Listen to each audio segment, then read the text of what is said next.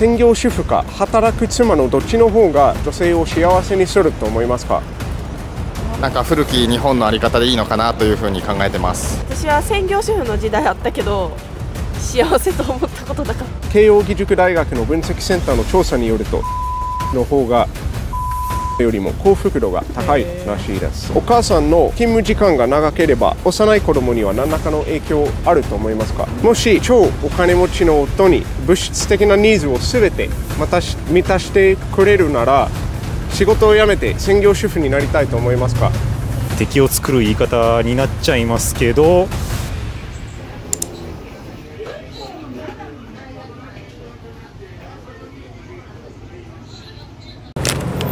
皆さんこんにちは。インタビュー受けたものです。こんにちは。専業主婦か働く妻のどっちの方が女性を幸せにすると思いますか？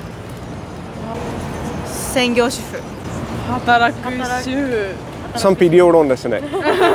働く方が私は幸せだと思います。私も思います。私自身は働いてる方が幸せかなと思います。まあ専業じゃない方でしょうね。人生トータルで言うとうん働く女性の方がうん、まあ、経験するという意味合いにおいては、えー、多分豊かになれるのではないかなと思ってます。え働いてる方じゃないですかねやっぱり今はできれば専業主婦で、えー、と男女差別じゃないですけれども女性は家で、えー、と子供を見る家庭を守るっていうのがなんか古き日本の在り方でいいのかなというふうに考えてます。その、まあ、状況の中で自分男としてバリバリ働いてあの養いたいですか？そうですね。できればそれが理想です、僕は働いてる 女性の方がいいと思います。まあ社会に出てソソーシャルワークで働いた方が女性の幸せがあると思います。はい、僕もあの働いてる方がいいと思います。それはやっぱ今後ねあの子育てとかいろいろあるかもしれないですが、やっぱり働いてる人の方が器が大きいので、ねお母さんとしてもママとしても一人の女性としてもねずっと若くいられる。だから働いて世に出て出てた方がいいなと僕は思います。なんでですか？やっぱ自分でお金とかも稼ぎたいなって思って なるほどもし専業主婦だったら自分のお金がなくて、はい。はい。夫に頼りっぱなし。っ頼りっぱなしになっちゃうて。感じですね、はい。じゃあ夫に頼るのより会社に頼った方がいいって感じですね。そうですね。あまあこれ完全に、まあ、個人的な意見になっちゃいますけどあの、まあ、専業主婦って言言っても正直家で完結したい、まあ、おおお友達ももちろんいると思うんですけど、まあ、そのママ友っていうんですか？ママ友とかと話してそれで完結っていう風なイメージがちょっと個人的には、まあ、僕の男の意見ですけど、まあ、女子会ですかね。女子会的なものがちょっと多いかなっていうんでちょっとそれで完結するのはうん寂しいのかなと思って。なるほど。世界はちょっと狭くなるという多分そん感じですか、ね、な感じです。はい。やっぱ働いてるとね家庭のこともしなきゃいけないでしょ。であのクッキングとかね洗濯とかいろいろだからどっちもはできないんちゃうかなと思って。今の日本ではそういう考え方はどどういうふうに見られると思いますか？そうですね。今やっぱりこの世の中だと男性も女性も働いてまあ一家庭で2馬力でっていうのが今のこの世の中の考え方だと思いますのでそうですね。あんまり専業主婦っていうのはあんまり時代に即してないのかなとは思いますでもや僕はやっぱり家庭を大事にしたいので、まあ、お互いが働くよりもだ、えー、と夫と妻でその役割がしっかり分担されてる方がより協力できるんじゃないかなと考えてます。じゃあまずはななぜ専業主婦ですか？働くってなるとやっぱ育児とかの両立が難しいしパワハラが多いイメージがあるからです。あ会社の中会社の中で。でですね。えー、と自分でもお金を稼いで対等な立場でいたいから。男性とですね。男性とです。なるほど。同じですか？はい。自分でも働くことで男性の気持ちも分かる。ことができると思うのでお互い寄り添うことができるかなと思います。専業主婦ってなると100%全部家の家事を女性が負担することになるし、まあ、例えば子供がおれば育児も女性が100%なイメージが強い。そうですね、でも逆に夫にあの自分の物質的なニーズを全部養ってもらってるからそれは平等じゃないですか。平等。役割分担みたいな感じで、まあ、やけど、まあ、育児はそうお互いの子供であるもあるからやっぱりそこは2人で育てていくものだと思ってるんで、まあ、も働けるなら私は働きたい。その家の家庭の幸せと別に自分なりの幸せがあった方が幸せが増えるかなと思います。お母さんの勤務時間が長ければ幼い子供には何らかの影響あると思いますか？はいやっぱり僕は子供はできるだけちっちゃいうちはお母さんと一緒にいる時間っていうのが大事だと思いますので、まあ、できればそういった形でお家でお母さんお父さんと一緒に時間を過ごせる方がいいのかなというふうに思います。そうですね。やっぱちっちゃい子供がいる時はやっぱ育休とかを取るんじゃないかなと思います。なるほど。一時的な専業主婦になってもう一回復活。はい。あると思います。いいですか？悪いですか？悪い影響があると思います。なんでですかなんか子供と寄り添う時間が減っちゃう。な勤務時間が長いと子供との時間が減っちゃってそのなんて言えばいいんだろう。親子の絆とかが関係が薄くなっちゃう。のがあると思います。私はいいこともあるなとは思ってます。なんかいいこともあるって感じ幼ですね。稚園とか保育園とかで他の子たちとも触れ合うことができるからその親とで親とだけでもなくて他の子との触れ合いも多くなるから教育的にもいいかなとは思います。時間がやっぱ一緒におれる時間が、うん、子供と作れる時間が短くなったりそういう面では、うん、影響？その代わり保育所に預けてるし友達と遊んで楽しく普段できない家でできないこととかも保育所で友達と仲良く遊んでるからどうなんまあ、たまには必要だと思うけど。仕事を休めるんですか？僕そんなに日本の状況に精通してないんで。仕事によれば、によればですね、じゃあ休めない仕事があるってわけですか？休めないっていうこともないけどやっぱり出世は厳しいです。なるほど。出世することはできない。じゃあ会社にいない分その出世できるチャンスがない。ないですね。だから、まあ、例えば子供を優先してしまうと仕事がなんていうの？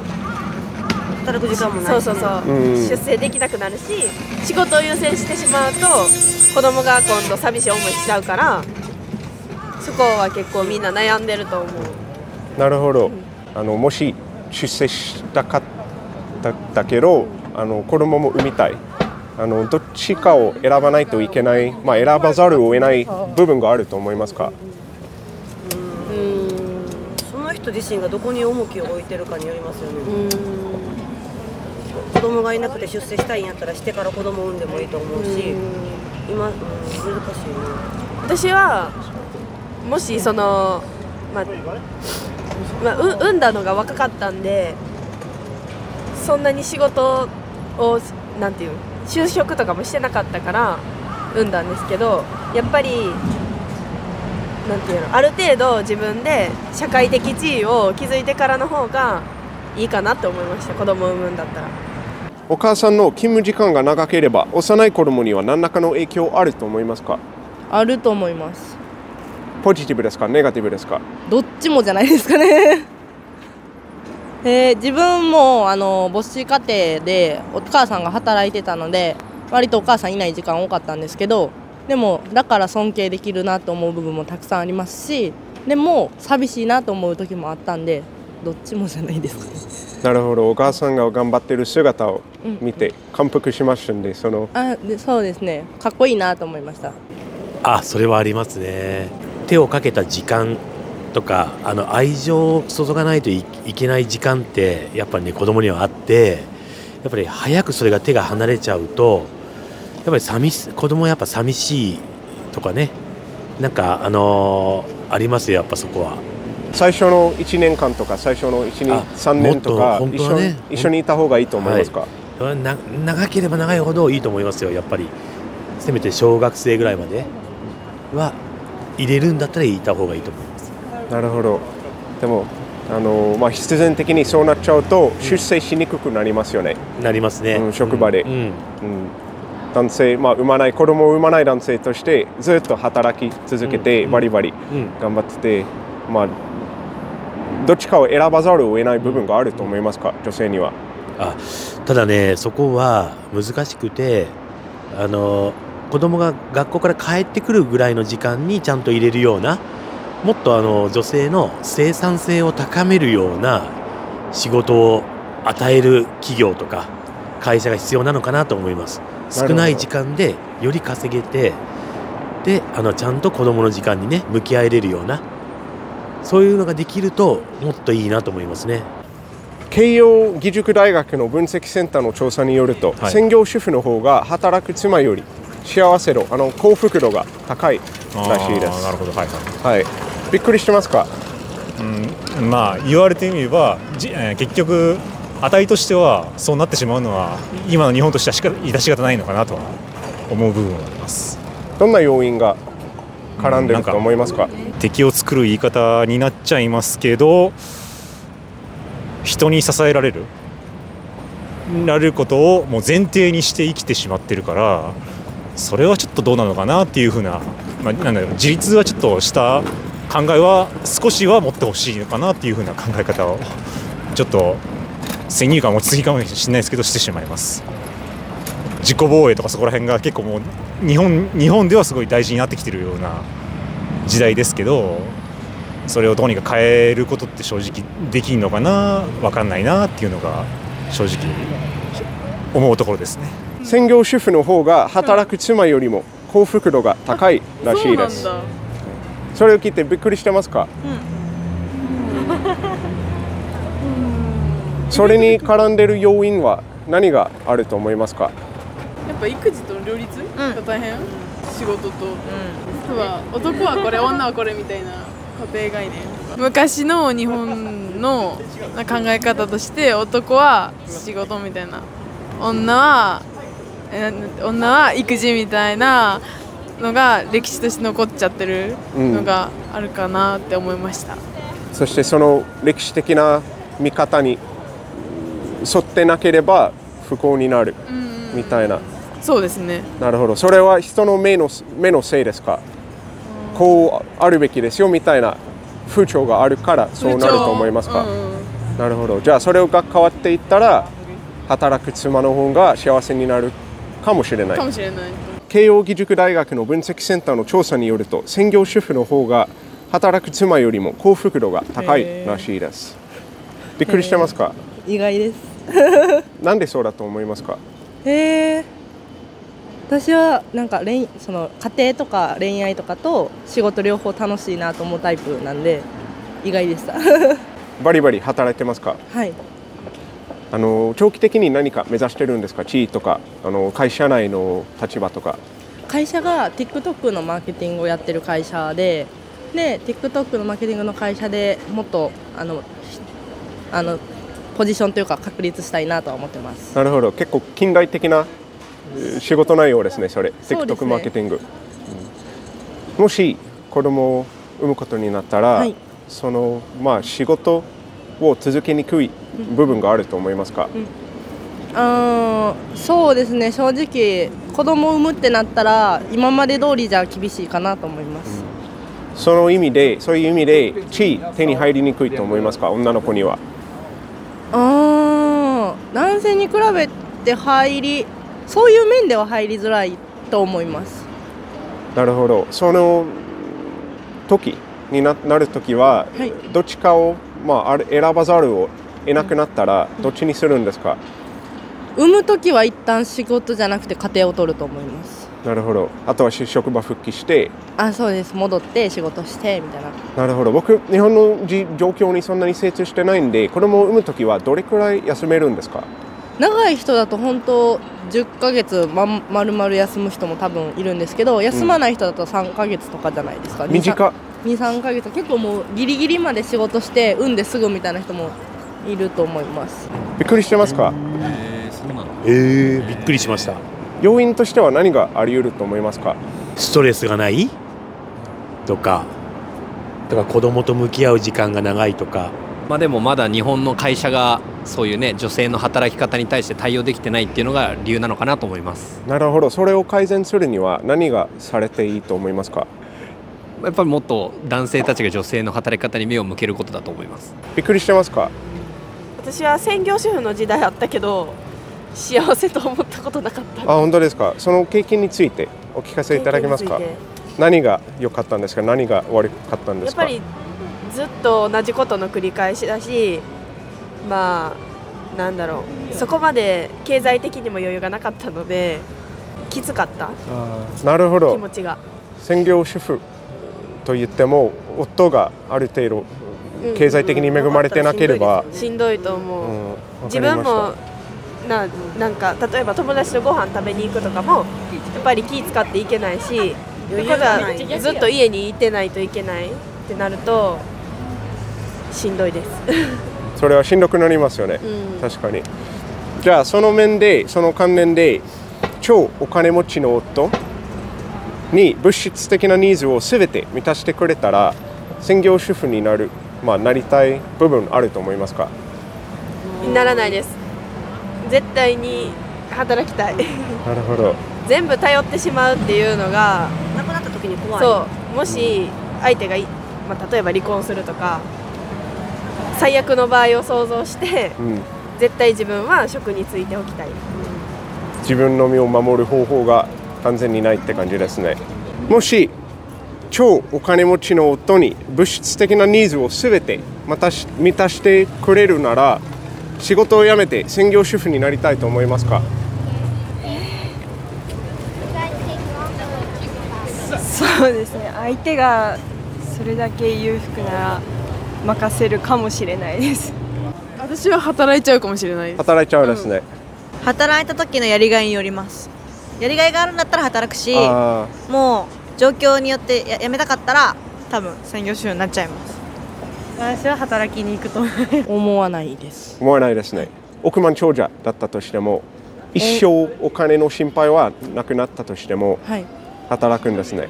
なんか自分のやりたいことを仕事にするかもしれないですもっと。